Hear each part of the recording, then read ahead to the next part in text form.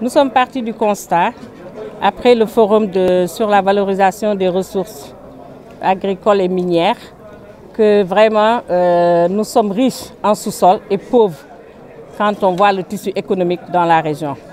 C'est à partir de ce constat qu'on s'est dit que, et vu la population quand même qui est plus de 70% de jeunes de moins de 35 ans, comment les organiser pour pouvoir promouvoir l'auto-emploi, promouvoir l'entrepreneuriat et accompagner ces jeunes qui, nous le savons, sont motivés, sont déjà engagés, qui ont une particularité dans l'ingéniosité vraiment et des innovations. On s'est dit que si on les accompagne, qu'on mette le cadre qui, qui s'y est, on pourrait promouvoir l'auto-emploi en Casamance et particulièrement dans la région de Ziguinchor.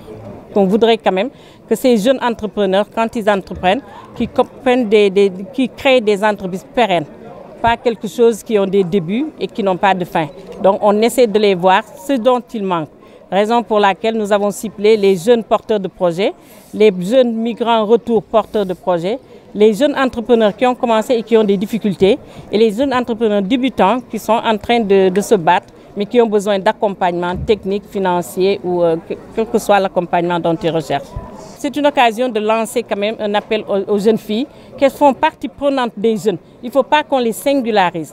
Parce que des gens comme moi croient que sans la femme, rien ne peut se développer. Il faut aussi qu'on se dise la vérité. C'est vrai que je suis féministe, je, je pousse le genre, mais j'aimerais bien que les jeunes filles viennent participer à ces trucs, d'autant plus que dans notre région, je prends toujours l'exemple de la transformation, que nos mamans font bien, mais il faut voir l'âge, il faudrait qu'on crée la relève. Et je suis sûre qu'avec les jeunes, vu leur ingéniosité, l'innovation, cette transformation peut atteindre une proportion vraiment exceptionnelle qu'on ne soupçonnait pas.